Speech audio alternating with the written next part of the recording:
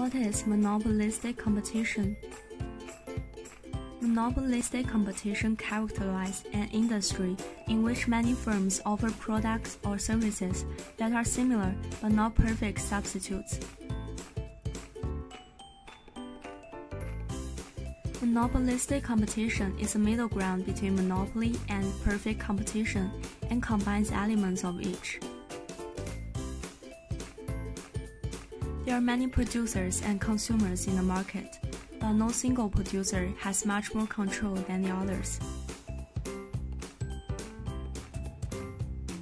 As in a monopoly, firms in monopolistic competition are price setters or makers.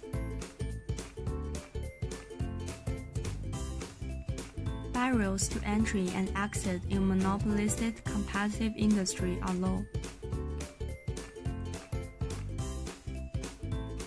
The average consumer doesn't know the precise differences between the various products or what the fair price for any of them is. Consumer choices are various.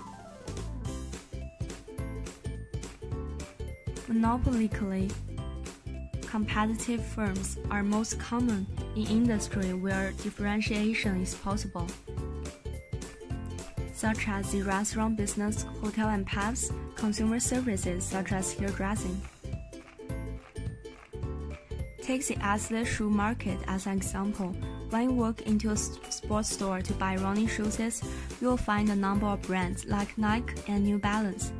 Its market seems to be monopolistic due to uniqueness of each shoe brand and power to charge different price.